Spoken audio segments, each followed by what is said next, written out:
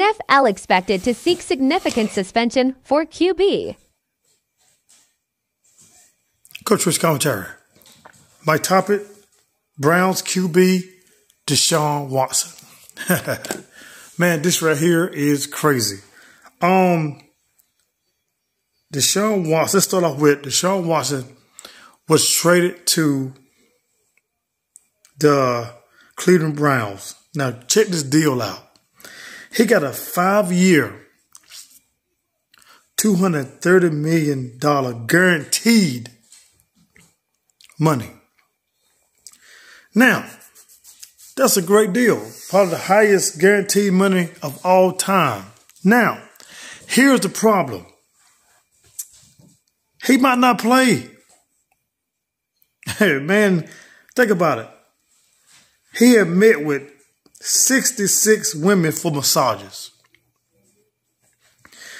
He, he is facing 24 active civil lawsuits.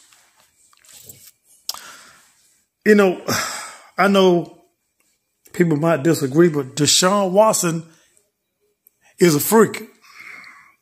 Anybody that have that many massage parlor, massage uh, therapists, something is wrong.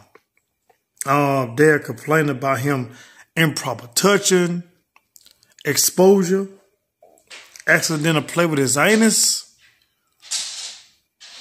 touching his anus.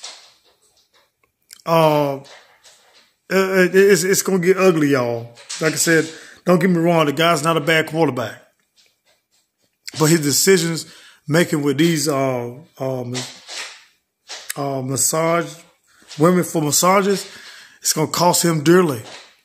So once again, Cleveland Browns, Deshaun Watson, NFL expected to seek significant suspension for QB.